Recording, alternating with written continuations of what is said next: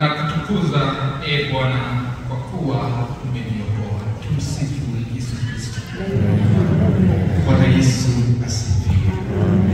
Kwaya, tutaendelea, tutaanza na ombi letu 28 tumshangilie Bwana. Lakini kabla masomo yetu ya siku ya leo ni masomo inatutia moyo sisi tukiwa wafuasi wa Yesu Kristo. Jumapili iliyopita tunaona Mungu vile alivyoingilia shughuli na safari ya watu wake ili waweze kuona nguvu ya Mungu ambaye wanaishi naye. Alidhihirisha Mungu wake na akawaonyesha kwamba yeye ni Mungu ambaye anatawala na hawezi akashindwa na nguvu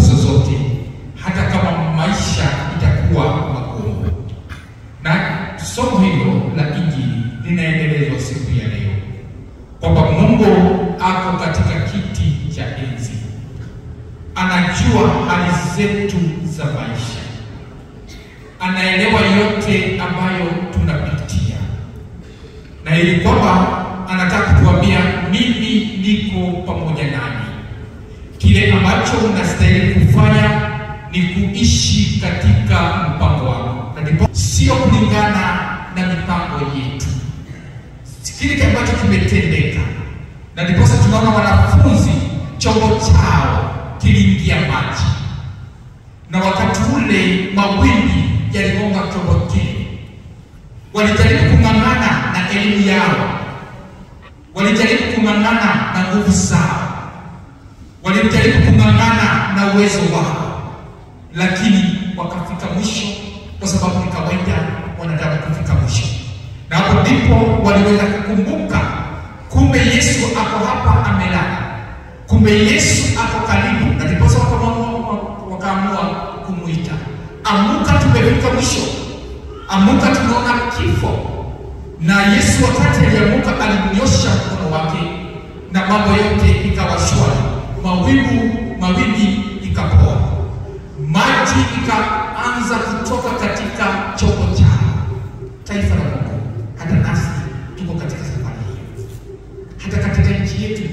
chombo chetu na familia yetu, sisi wote.